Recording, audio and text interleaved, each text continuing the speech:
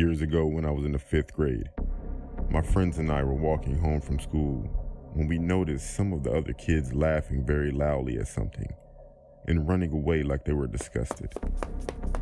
We looked back and they were laughing at this woman who was walking behind us.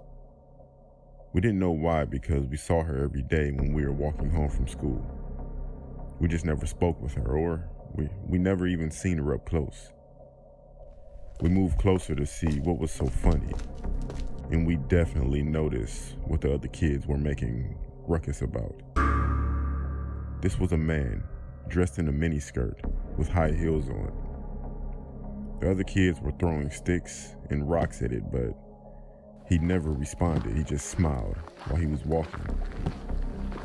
A few days later, I just so happened to be watching the news and I saw the same guy's face on the news. My friend who lives around the corner was getting her mail when she saw the man across the street watching her. He waved and he started skipping across the street like a little girl while loudly asking her, Do you remember me? She was one of the kids that threw rocks at him.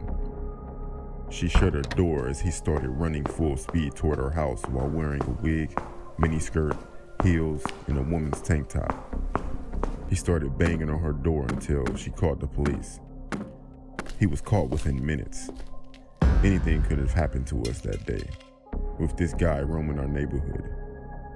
But luckily, nothing ever happened to any of the kids that I knew.